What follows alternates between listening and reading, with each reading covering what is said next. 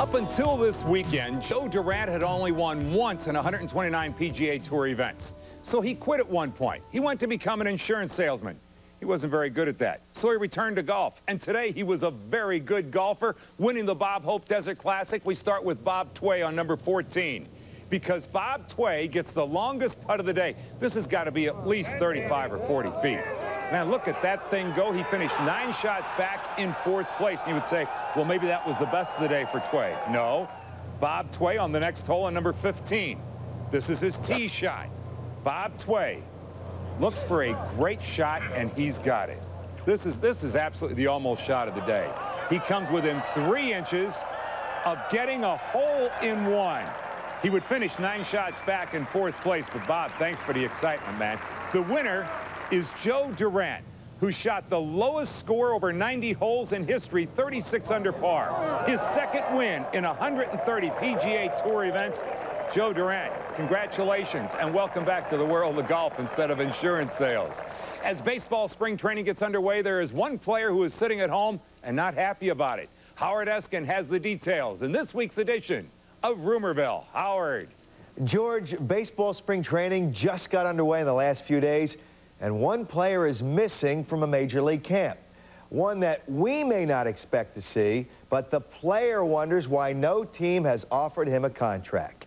Outfielder Rickey Henderson, he's 42 years of age, has played in 22 big league seasons with seven different teams, but he thinks there is another motive why no team has signed him. Now, I hear grumblings that Henderson feels it's discrimination, and Henderson is thinking of hiring a prominent attorney to possibly sue baseball. Now, just when you thought it was only Shaquille O'Neal and his teammate Kobe Bryant having trouble getting along in L.A., you can add the head coach, Phil Jackson. Now, let's go back to Wednesday night's game in Philadelphia in the Lakers game against the 76ers. The Lakers lost, but in the process, Phil Jackson was not happy with his star guard pulling Kobe Bryant in the third quarter because it was obvious Kobe didn't bring his A game to the arena.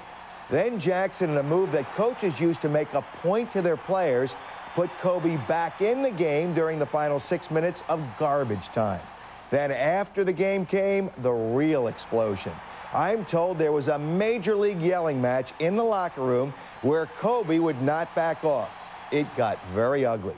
So keep your eyes open for more to come on this one. From Rumorville for the Sports Machine, I'm Howard Eskin. All right, Howard, Saturn Play of the Week, folks. Salutes the winner of the 125th Westminster Kennel Club. Why?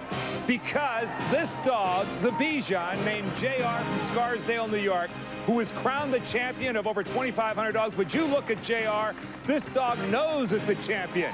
JR, you get our Saturn Play of the Week, and you earn every bit of it. Just ahead. We'll look back at the legendary career of NASCAR's Intimidator.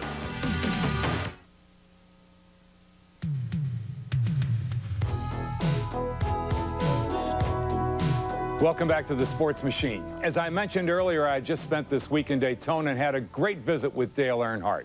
Not many people know that he had recently become a grandfather. He told me that between his new granddaughter and his racing team, that he had never been happier and had never felt more sure that he was going to win his eighth Winston Cup championship. And now this happens.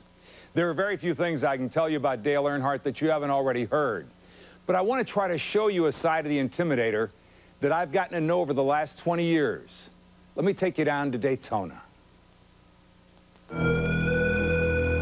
Daytona International Speedway where Dale Earnhardt had some of his best and worst experiences. He had won over 33 races here. He had experienced some of his toughest heartbreaks. He finished second four times in the Daytona 500.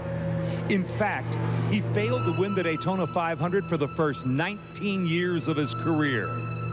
Just a few years ago, he became a sentimental favorite to finally win the race that had broken his heart a lot of people hadn't won this race, but still, it's the race that I've never won. And as a seven-time champion, that's pretty impressive. Is not to win the Daytona 500, win the most races at Daytona. But uh, yeah, maybe uh, maybe we will be the the dark horse or the guy that everybody pulls forward because he has never won the Daytona 500. Dale Earnhardt earned his nickname the Intimidator when he drove the number three Wrangler car. He drew criticism from car number 11, Darrell Waltrip, when those two collided at Richmond in 1986. Dale Earnhardt let nothing stand in the way of victory. The Intimidator took as much as he gave. In 97, the Daytona 500, Dale Earnhardt battling for the lead with 10 laps to go. He's forced into the wall. The impact would cause Earnhardt to flip over into traffic. Amazingly, he was not injured. He would tape up his car with gaffer tape and return to the race. What was your thought when you got flipped at Daytona? Because Dale, hey, I was following it like a hawk, and I could see some things happening. I said, Earnhardt just might get in there and get this thing. Very good race car, and it's the same car ran down in, in July. We redid the car, but uh, it was just one of them deals. You know, the arrow and everybody around you just pushed up off the corner, got into the wall, and Jarrett was behind. He got bumped. I, he bumped me. We turned over. But does any thought flash through your mind as you're going over? Nah, it's just when's this thing gonna stop and we're gonna have anything left when it quits. And fortunately, we had a little bit left when it quit, and we, we ended up finishing the race anyway. He won 76 races, seven championships in his 23 years of Winston Cup racing. Through his success, he earned the reputation as racing's most intimidating driver.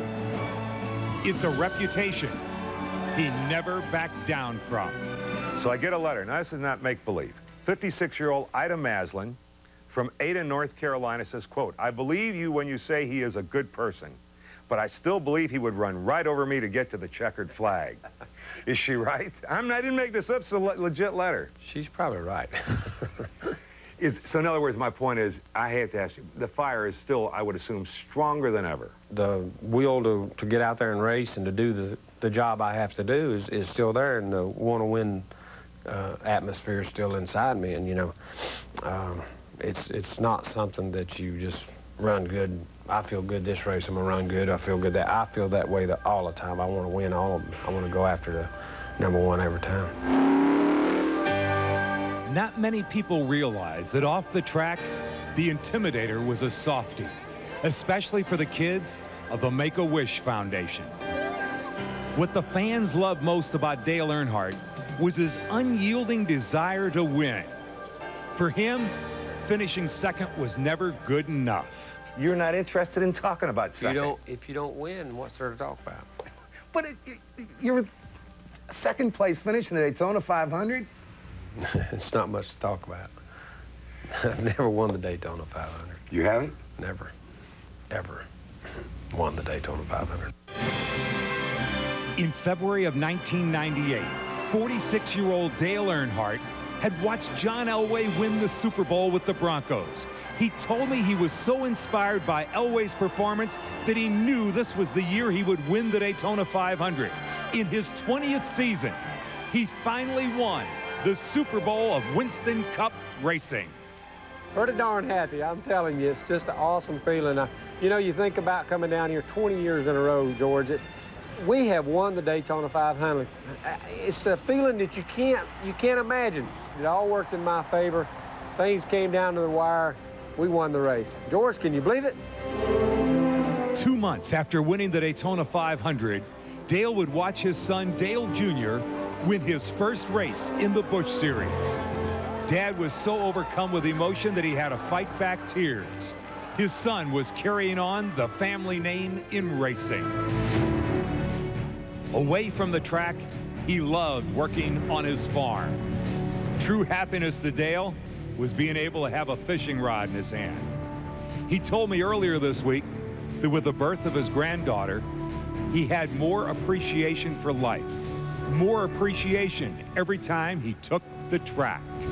You appreciate every win you have now, George. It's, I mean, the, everything you accomplish today is so much better because I think one age you you appreciate it, you enjoy it, you understand it better, but you know how hard and how important it is to all that race team and those people that support you. You will have the greatest party ever if you get this eighth title, right? That's what the plan is. We'll go back to partying like we used to. They No, think they party in no. New York. They don't. They don't party in New York. We'll show them how to party. That would be our last conversation. Dale Earnhardt is taken from us just two months shy of his 50th birthday on a track that gave him his worst nightmares and his greatest joy. The greatest racing competitor of all time. Despite the fierce competitiveness in NASCAR, this is a family, a family. And we at the Sports Machine want to extend to Dale Earnhardt's family and the entire NASCAR family our deepest sympathy. Good night, everybody.